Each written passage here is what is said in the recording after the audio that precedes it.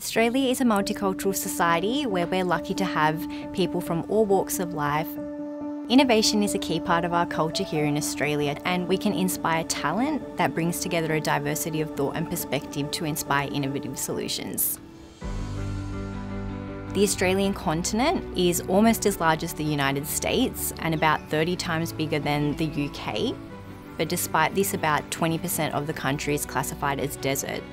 Water is a precious resource as we know and something that most of us tend to take for granted. Access to clean drinking water is a problem throughout the world. Gilgai has been in development over the last five years and is a partnership between Aurecon, AMP Control and CPS. Project Gilgai is a containerised water treatment system that's capable of producing a continuous supply of drinking water both cost effectively and off grid.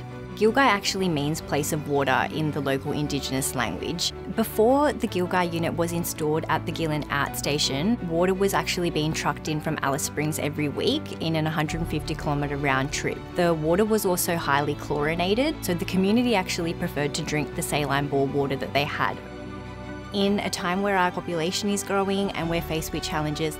Here at Aurecon, we work on the delivery of major infrastructure projects in a range of markets and international locations to co create innovative solutions that will leave our current and future generations for the better.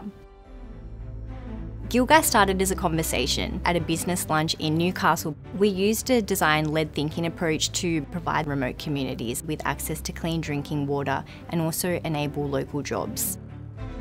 Gilgai's modular design and the way that the water treatment processes are packaged together are what makes Gilgai unique. The whole unit is housed inside a shipping container, which only needs standard truck transportation and a crane to be lifted into place.